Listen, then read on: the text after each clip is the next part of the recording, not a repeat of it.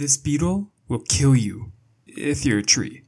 This invasive species has no natural predator in North America, turning our forests from this to this.